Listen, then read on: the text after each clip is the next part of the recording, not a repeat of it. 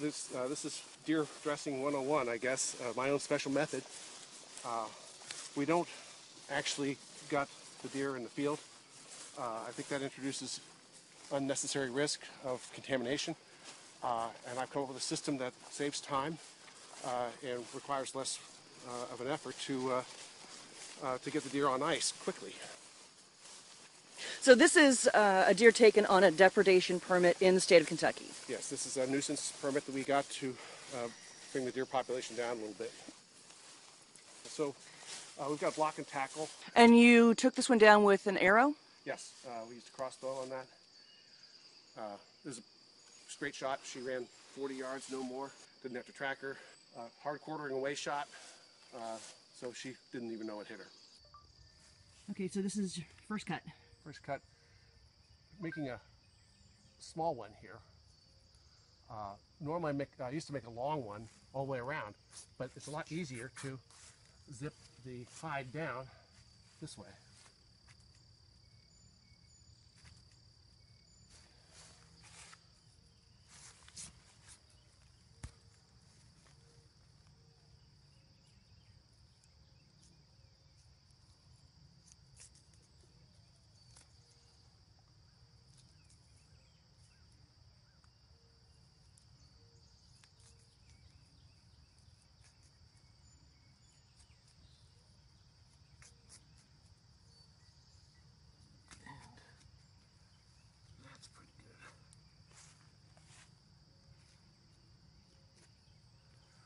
One side, now we'll slip around to the other side.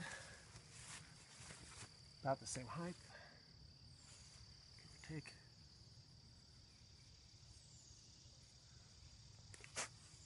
I'm guessing these knives are very sharp. Uh, yeah, as sharp as I can get them.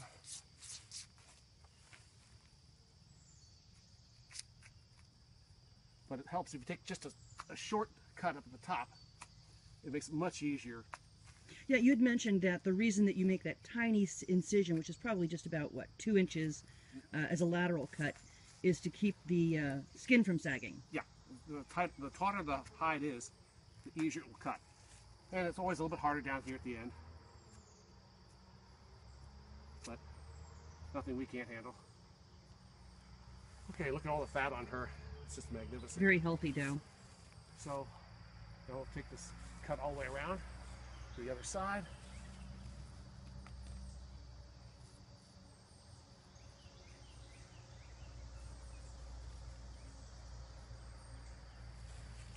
This side as well.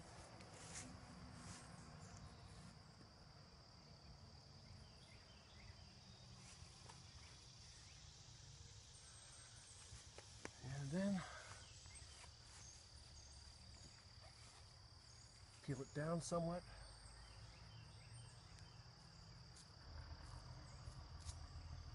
Get a better grip on it.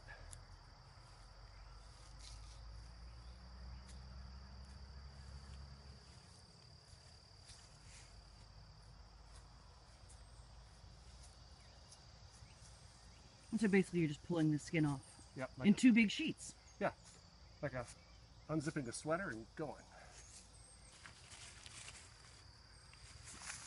Pull.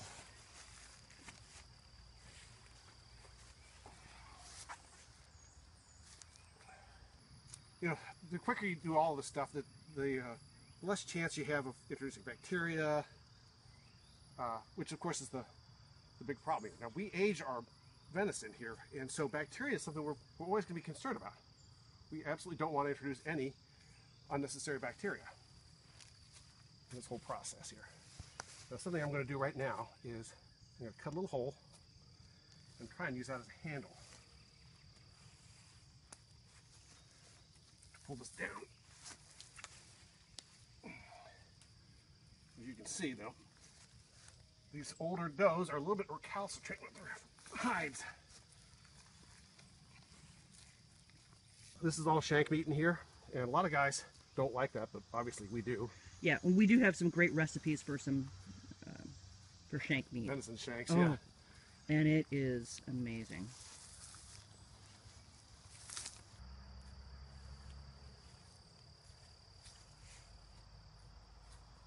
Actually, I've got I got this uh, skin down almost far enough to uh, to pop the joint, which is what I'll do in just a moment. But I'm gonna try and get the other side of the skin down and the rest of this side down as far as I can before I take the, the joints off. That may not be practical, but but we'll do what we can.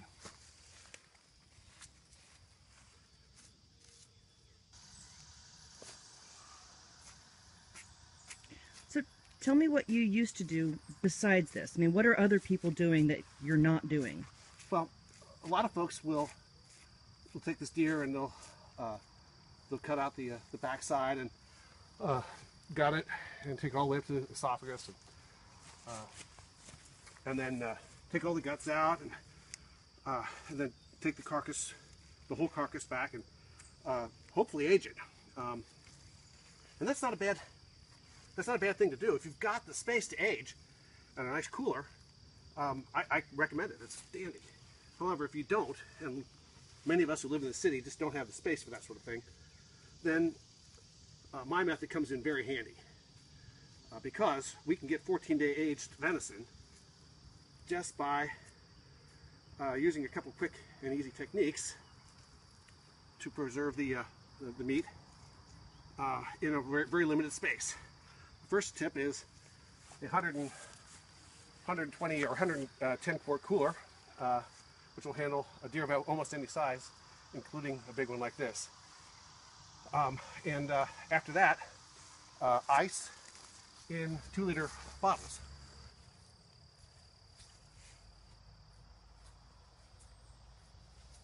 You can always add more wet ice, but here's the nice thing. Water breeds bacteria, so the less water you introduce into uh, your aging uh, situation, the better it's going to be all the way around. So what you're saying is that when you use bags of ice or loose ice, it melts and puts water onto the meat. Onto the meat, yeah. And what you're trying to do by using the two liters is you only have to deal with the condensation on the outside Precisely. instead of having it having well, gallons of melt. water that you got to uh, that you got to drain off. Right. And there still will be some water to drain off because we will use ice, but we're not going to use ice exclusively. Uh, 14 days is a long time. That's a lot of ice. That's a lot of water. That's A lot of potential bacteria. So you've taken this deer down as much as you're going to on this side. Now you're just basically doing the same thing On the opposite side, on the opposite side, which is cutting the skin away. exactly. And normally this goes a little bit faster, uh, but the older a deer is, the more attached they come become to their hides. I think. Uh, in any case, it's just taking a little bit more work, a few more cuts. Is the additional fat uh, a consideration? Is that probably making it harder too. But you know, as everything's tougher when you get older, as you as you know, I get wait? Are we talking about the deer? or Are we talking about you? yeah. That's kind of that's kind of where we're at here, isn't it? For a smaller, younger doe, Uh, a smaller, younger doe, this uh, we've already be done. we've already be done. Yeah.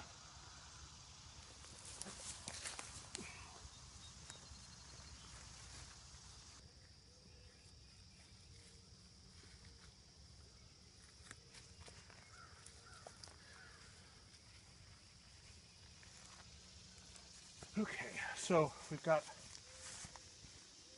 most of the skin off, except for down the lower part of the lower back legs here. Now we're going to take apart the uh, the front joints. Get in here on this joint here. You kind of feel in between the joint, and you can kind of cut around it, both sides, and the back.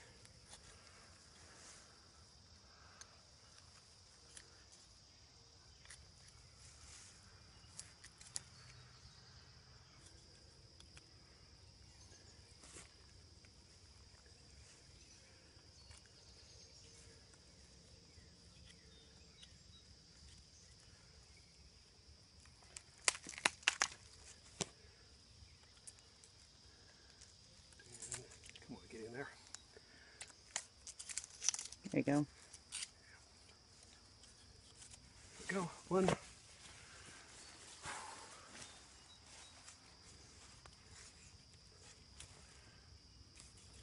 Okay, so now we're back and uh, new set of gloves, Yep.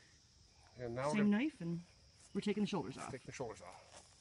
And I'm going to try and get some of this flank meat. Normally, there's not much flank meat on a, on a little doe, but this isn't a little doe. It's a big doe. And uh, we'll turn that flank meat into some nice uh, stew meat. I'm also going to take some of this neck meat here. We'll find something to do with it. Normally, I don't uh, bother worrying with it because there's not that much, but this is obviously a very nice sized doe.